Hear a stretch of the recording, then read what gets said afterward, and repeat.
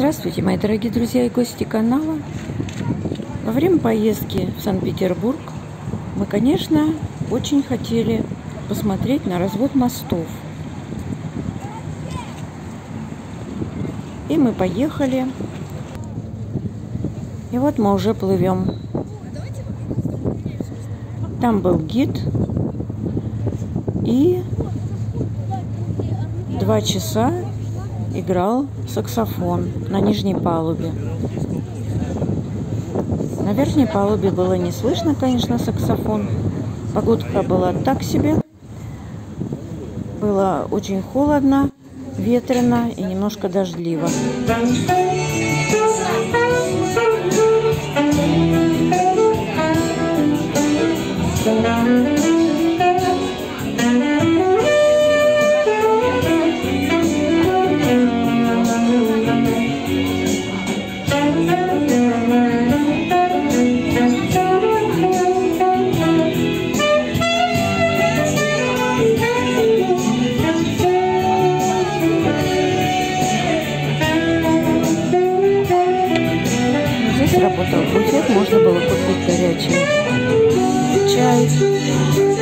Какао, глинтвейн, что было очень кстати. За бортом потрясающие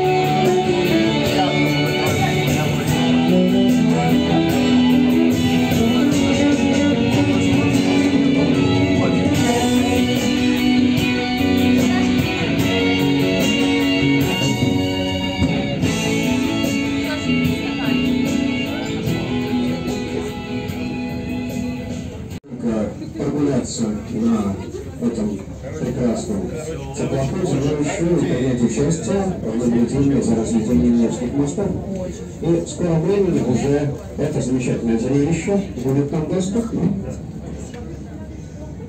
Наряду со мной, я думаю, что его можно поставить на первое место, мы с вами будем сегодня слушать нашего прекрасного музыканта. Давайте его приветствуем. Это Андрей. Кто нашел чуть раньше, они уже узнали э, на то, как он работает саксофоном. Вот, и я думаю, что мы вот так вот друг друга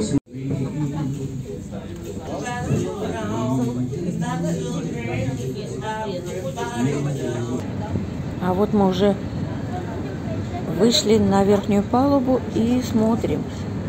Начинается развод Дворцового моста. К сожалению, наш теплоход стоял очень далеко. Там огромное количество теплоходов. Желающих было очень много посмотреть.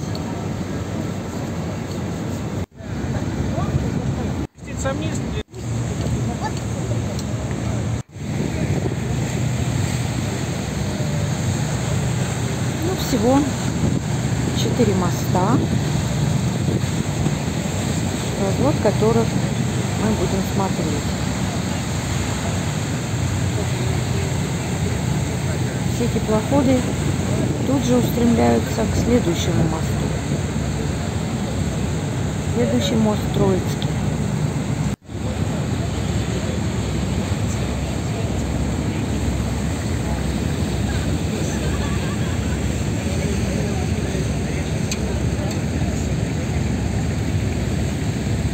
Левобережного э, пролета моста он является 20-го столетия. Ну, э, правда, возведение его началось чуть раньше, еще в конце 19 века, на месте наплавного моста с таким же названием, действительно, тоннель под Ла-Маншем. А вообще тогда это было государственности в основании каждого подобного светильника, а, и также гербы Санкт-Петербурга, два скрещенные якоря, да, не перебивайте меня, пожалуйста. Два скрещенные якоря и э, пересеченные императорским скипетром. А с внутренней стороны вот эти трехрожковые светильники, они украшены монограммами э, Александра Третьего и э, Марии Федоровны, это родители последнего русского императора Николая II, который э, специально как раз в день 25-летней годовщины со дня свадьбы своих родителей приказал заложить мостовое сооружение. А, ну, 3100 тонн поднимается на ваших глазах за 4 минуты. Вот. И именно э, левобережный пролет находится ближе всего к Суворовской площади, откуда открывается проезд Марсового поля, э, одной из старейших площадей Петербурга. Пройдите э, хорошо будет сейчас увиден в виде огромного зеленого массива за Троицким мостом справа по борту. Уже за разведена по проекту Юрия Матвеевича Фельтона, известного архитектора второй половины 18 века. Кстати, он был сыном, придвор... Э, не сыном, простите, внуком придворного кухмейстера Петра Первого, то есть сыном петровского повара. И э, вот эту вызолоченную решетку возвел в традициях русского классицизма. И, и есть очень интересная легенда, э, которая сохранилась с начала 19 века, она э, говорит о том, что однажды сюда, в Петербург, для того, чтобы только посмотреть эту решетку, пришел на своем паруснике э, англичанин. Э, по одной версии он был очень пожилым человеком, по другой, наоборот, слишком молодым, молодым лордом. И вот он бросил якорь как раз в стихотворений. «Я крузом хочу в тот единственный сад, где лучшее в мире стоит из оград» где статуи помнят меня молодой, а я их под Невскую помню водой. В душистой тиши, среди царственных лип, мне мачт корабельных мерещится скрип. Менял свое местоположение, и в конце девятого вороте, но его предшественником был другой деревянный фрегат с таким же названием, наименован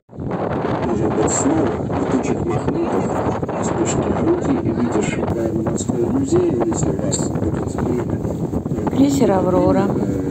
В светлое время суток прийти сюда, то вы сможете купить билет, попасть на него, посмотреть э, крейсер, так сказать, изнутри, спуститься в него, доходя до Самсоневского моста,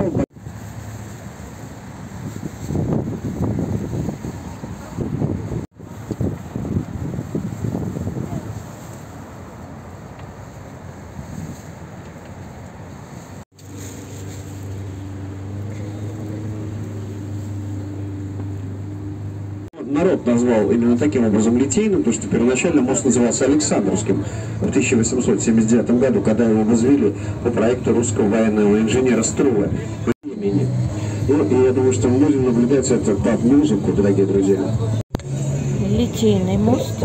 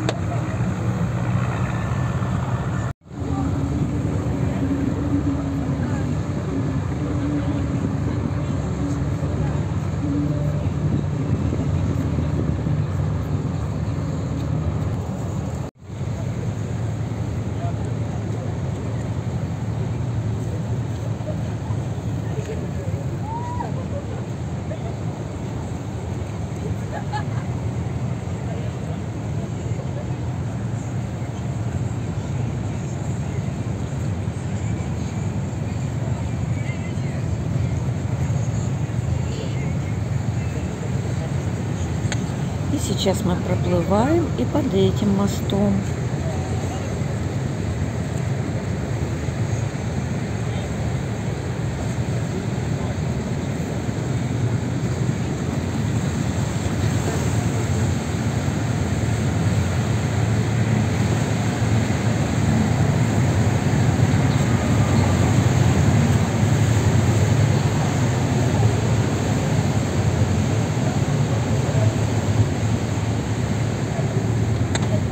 А небо уже светлеть начинает. Ночи очень короткие в это время. Белые ночи.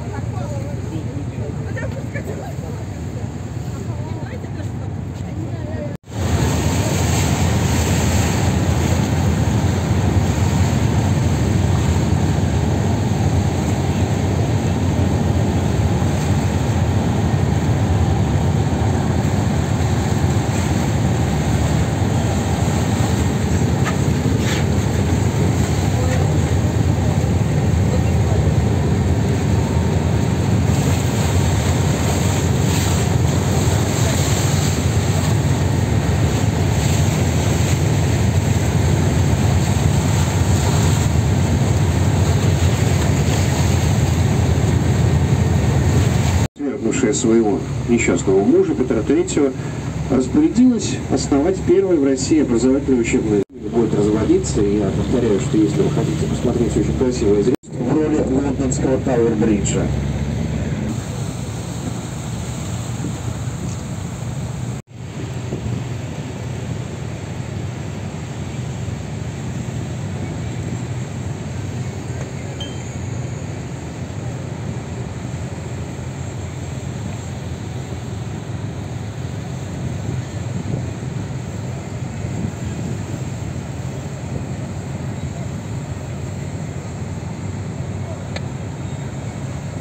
Больше Охтинский мост.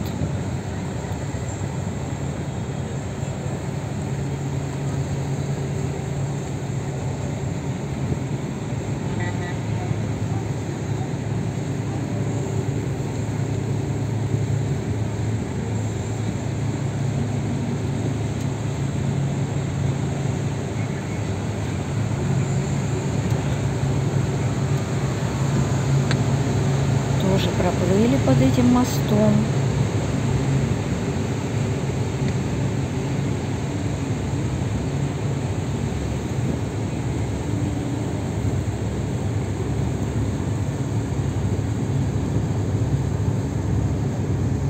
Вот такая красота.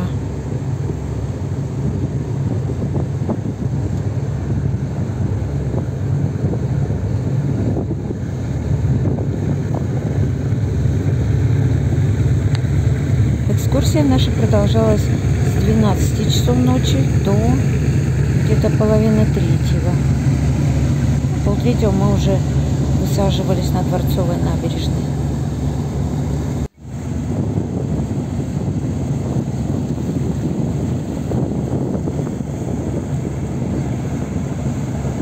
Было очень пасмурно, черные тучи, но тем не менее видно, что уже начинает светать. Мы погасили иллюминацию. Потом я уже не снимала. Спасибо за просмотр. Всего вам самого доброго.